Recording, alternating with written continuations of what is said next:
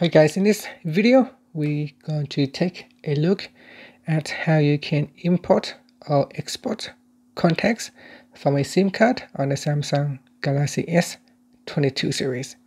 First tap on the home button to go back to the home screen and on the home screen open up the phone app. Once you have opened up the phone app, tap on contacts tab at the bottom, then tap on the more button Next, from the pop-up menu, select Manage Contacts. In here, tap on Import or Export Contacts. And if you want to import contacts from the SIM card, tap on Import and then choose SIM. So select SIM1 or SIM2 and then select the contact that you want to import.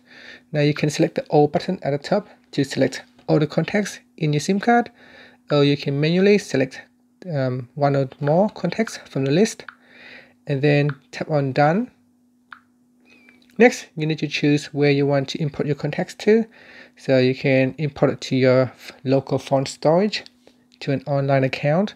So say I'm going to select it to a phone storage. I select phone and then tap on import. So make sure that you swipe uh, up to go down and tap on the import button. Alright, and then tap on OK. Now, if you want to export, you can tap on the export button. In here, you can export to an internal storage or a SIM card. So in this video, we're going to choose SIM. So select SIM1 or SIM2. Now choose which contacts you want to export. So I go, I'm going to select all and then tap on done and then tap on export and then tap on export. Again it said this contact's names email address and phone numbers will be copied to your sim but other contact info may be lost. Names emails addresses and phone numbers may be cut off if they are too long.